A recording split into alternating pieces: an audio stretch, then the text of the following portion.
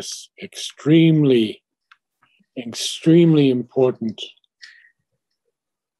section of this canto of the secret knowledge.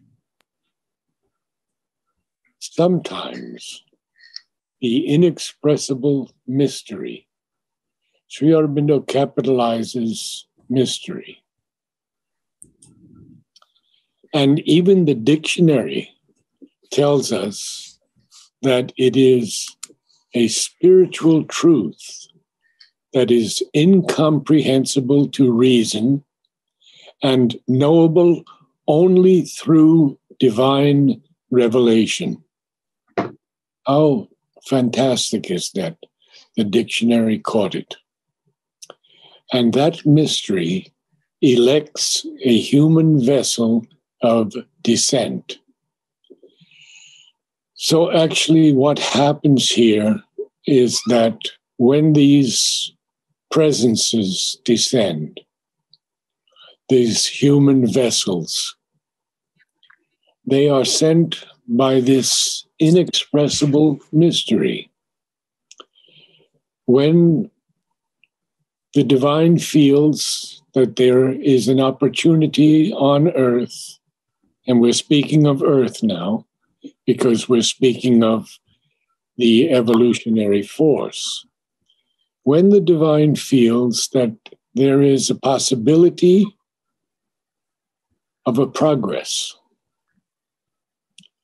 this involution, this human vessel of descent comes down. Notice that he just has two lines and then a full stop. A breath comes down from a supernal air. Supernal air is, air is a heavenly air. A presence is born a guiding light awakes.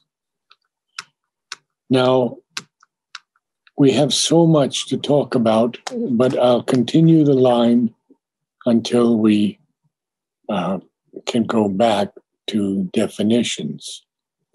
A stillness falls upon the instruments, fixed, motionless, like a marble monument, stone calm.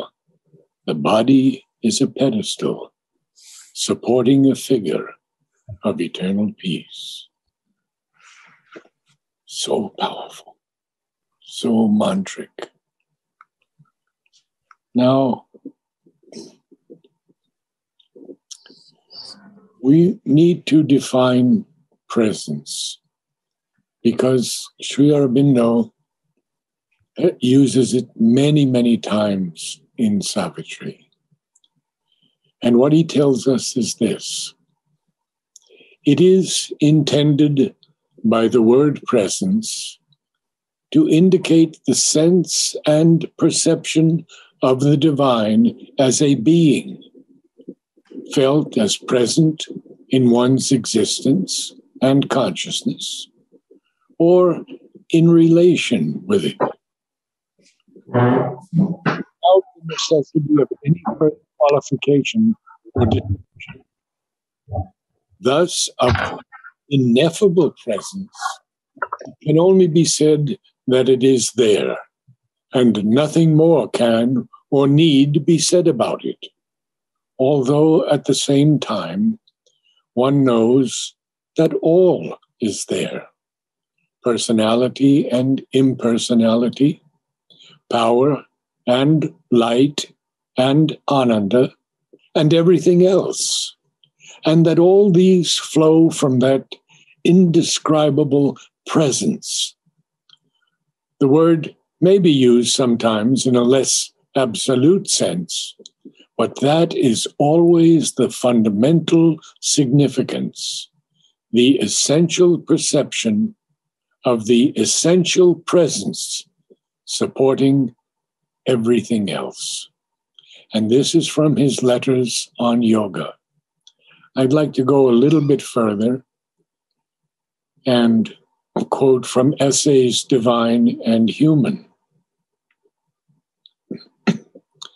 Beyond mind on spiritual and supramental levels dwells the presence, the truth, the power, the bliss that can alone deliver us from these illusions, display the light of which our ideals are tarnished disguises, and impose the harmony that shall at once transfigure and reconcile all the parts of our nature.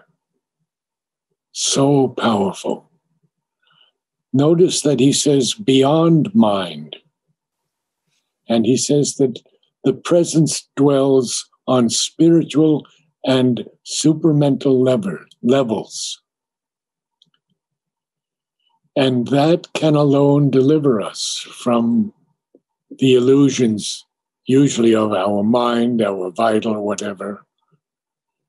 And then in the life divine, he says, but if we learn to live within, we infallibly awaken to this presence within us, which is more, which is our more real self, a presence profound, calm, joyous, and puissant, of which the world is not the master, a presence which, if it is not the Lord Himself, is the radiation of the Lord within.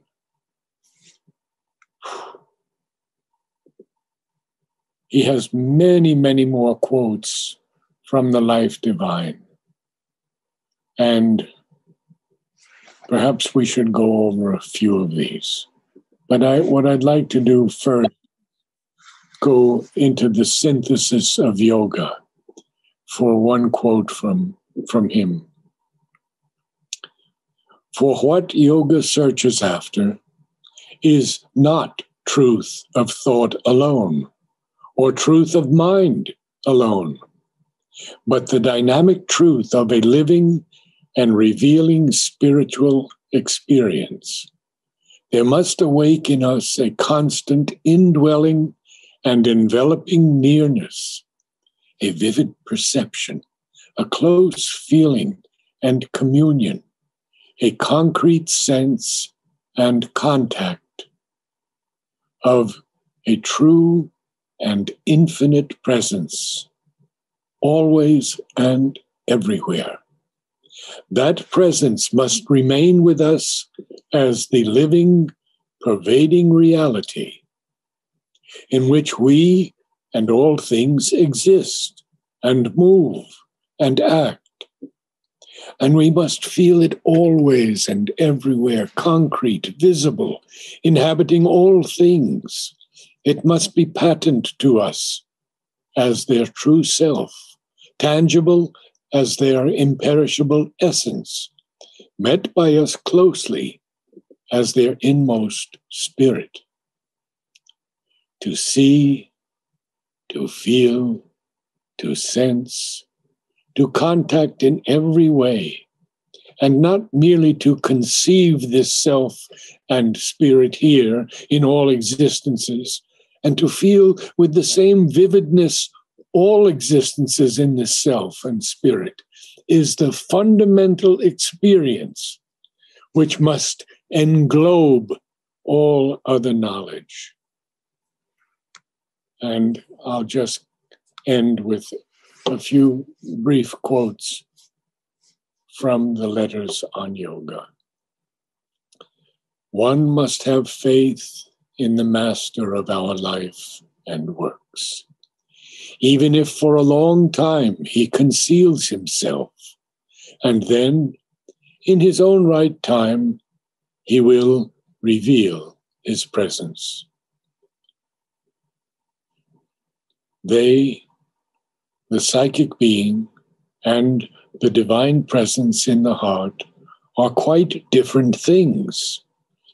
The psychic being is one's own individual soul being it is not the divine, though it has come from the divine and develops towards the divine.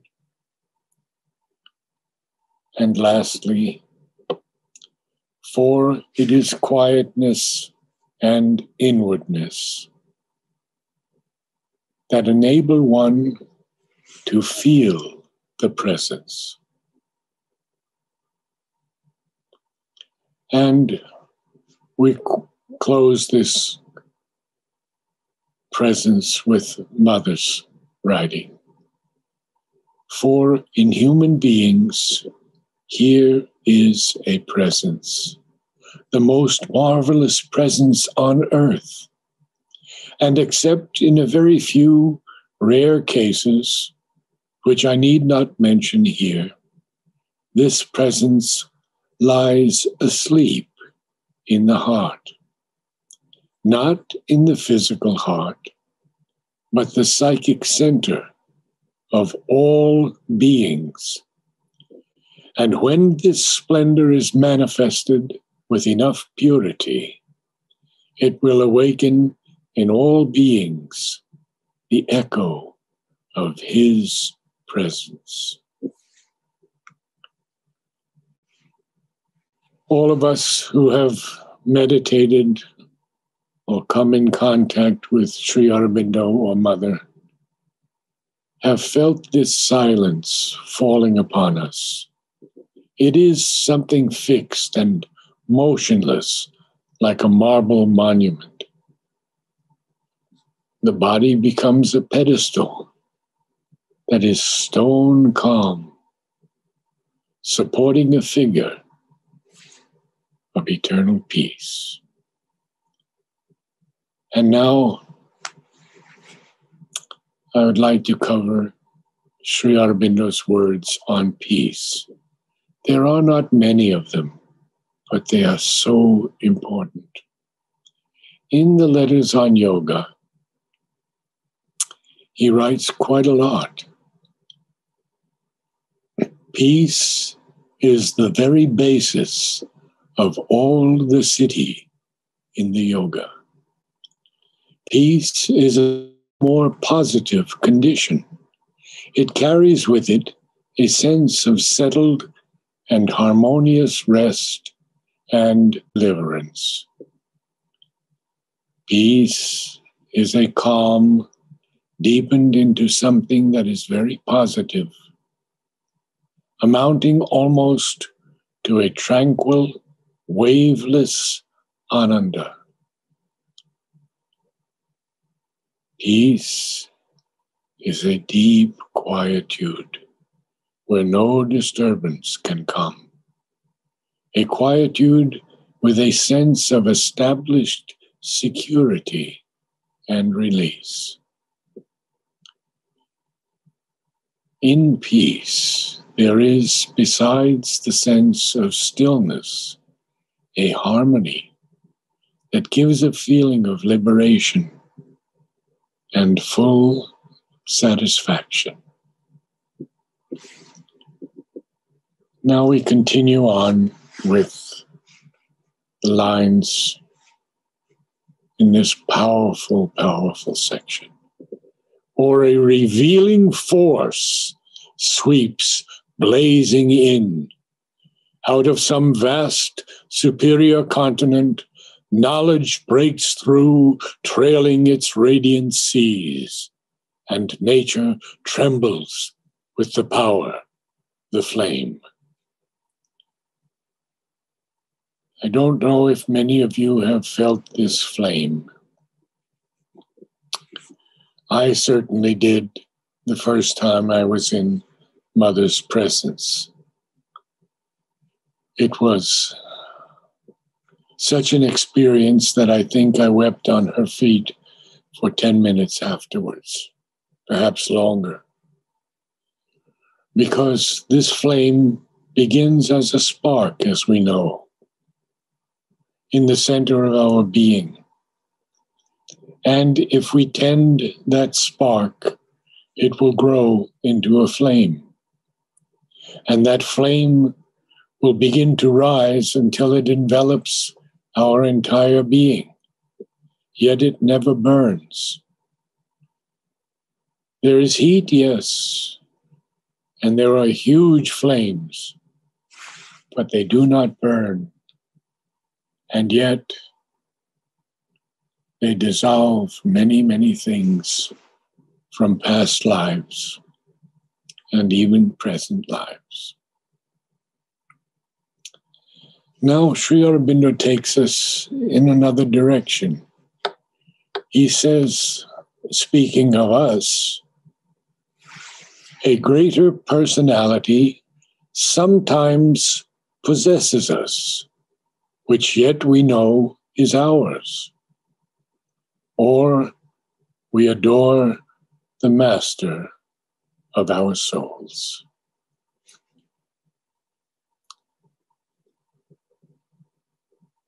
Here, Sri Aurobindo tells us what personality is. In the Life Divine, he says impersonality is the original, undifferentiated truth of things, the pure substance of the of nature of the being, the person. In the dynamic truth of things, it differentiates, it differentiates its powers and lends them to constitute by their variations the manifestation of personality. I've spoken often before of Sri Aurobindo's use of capitalization in Savitri. It is so important that we follow uh, these capitalized words and seek out his definitions of them. So now we come to, or we adore the master of our souls. And I'm going to probably conclude today. Well, let's see how far we can go. Sri Aurobindo speaks to us in the Life Divine of the Master, and he says, The Master and mover of our works is the One, the universal and supreme, the eternal and infinite. He is the transcendent unknown or unknowable absolute, the unexpressed and unmanifested ineffable above us. But he is also the self of all beings, the master of all worlds, transcending all worlds, the light and the guide, the all beautiful and all blissful, the beloved and the lover. He is the cosmic spirit and all creating energy around us. He is the immanent within us. All that is, is He. And He is the more than all that is. And we ourselves, though we know it not, are being of his being, force of his force, conscious with a consciousness derived from his. Even our mortal existence is made out of his substance. And there is an immortal within us that is a spark of the light and bliss that are forever no matter whether by knowledge, works, love, or any other means, to become aware of this truth of our being, to realize it, to make it effective here or elsewhere, is the object of all yoga.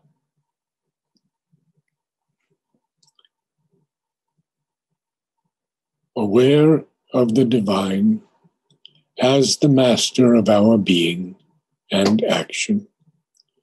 We can learn to become channels of his Shakti, the divine presence, and act according to her dictates or her rule of light and power within us. Lastly, in the synthesis of yoga, he writes. Influence is more important than example. Oh, influence is not the outward authority of the teacher over his disciple, but the power of his contact, of his presence, of the nearness of his soul to the soul of another, infusing into it, even though in silence, that which he himself is and possesses. This is the supreme sign of the Master. For the greatest Master is much less a teacher than a presence, pouring the divine consciousness and its constituting light and power and purity and bliss into all who are receptive around him. And we continue with the lines.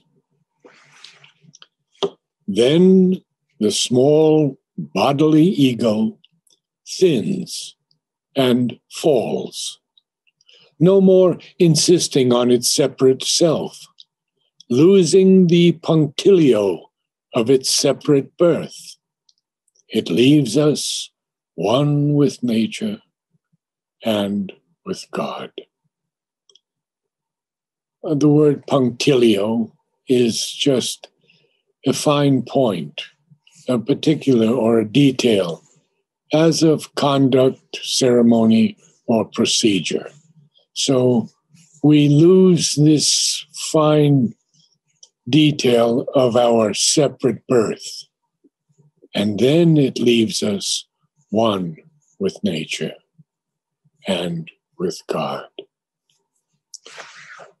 Now, you will have to tell me because I have so many uh, classes on Savitri.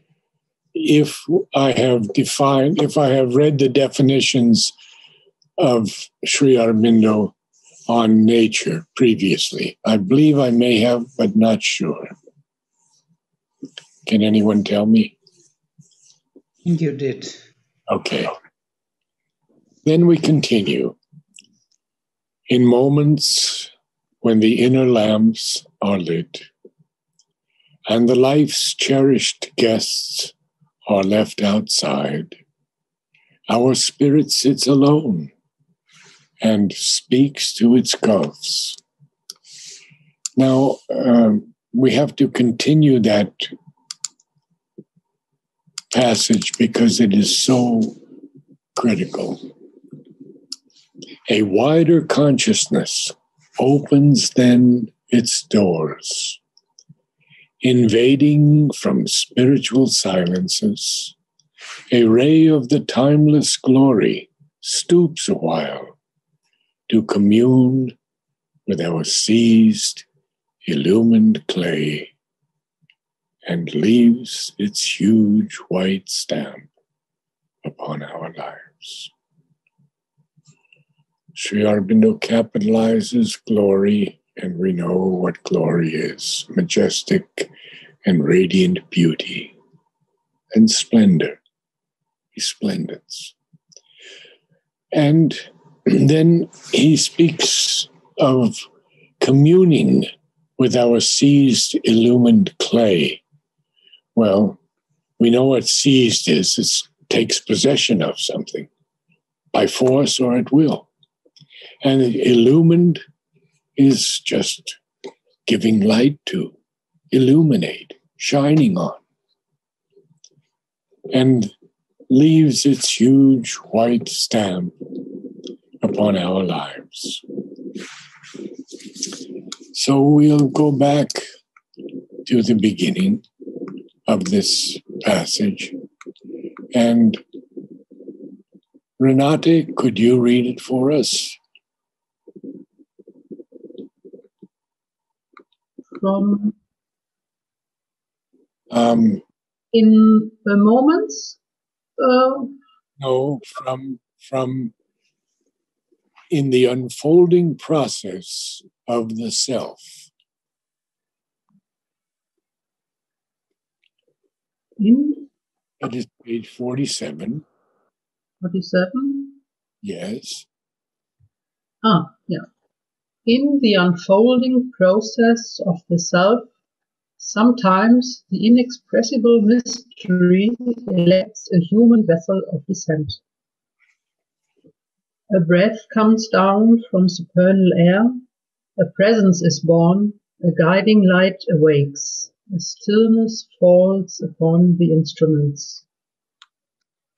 Fixed, motionless, like a marble monument, stone calm, the body is a pedestal, supporting a figure of eternal peace. Or a revealing force sweeps blazing in, out of some vast superior continent, knowledge breaks through, trailing its radiant seas, and nature trembles with the power of the flame. A greater personality sometimes possesses us, which yet we know is ours. Or we adore the master of our souls. Then the small bodily ego thins and falls, no more insisting on its separate self, losing the punctilio of its separate birth. It leaves us one with nature and with God. In moments when the inner lamps are lit and the life's cherished guests are left outside, our spirit sits alone and speaks to its gulfs. A wider consciousness opens then its doors, invading from spiritual silences a ray of the timeless glory stoops awhile to commune with our seized, illumined clay and leaves its huge, white stamp upon our lives. Well, thank you all for attending. Uh, it is so wonderful to share Savitri with all of you. Uh, and thank you, Narad. Thank you, Narad. Yeah. Thank you, Narad. Namaste.